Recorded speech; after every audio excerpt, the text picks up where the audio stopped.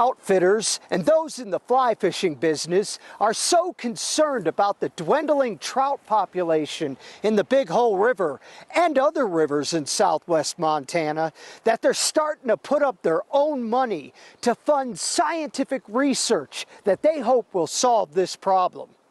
I don't think this is a, a sky is falling, the rivers are dead scenario. This is a call to action now so that we preserve the integrity of these rivers for the future. A coalition of outfitters and fishing guides recently formed Save Wild Trout in response to a report showing low numbers of brown and rainbow trout, especially young trout, in the Big Hole River.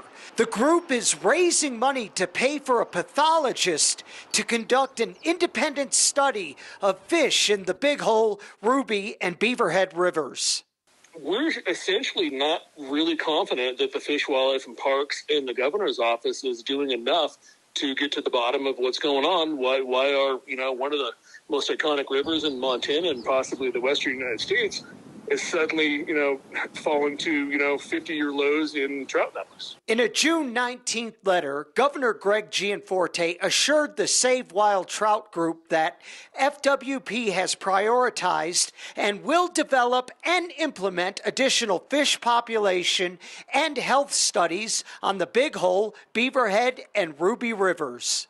Fellin said he will share data from their independent study with FWP in the hopes that it will help come up with a solution sooner than later.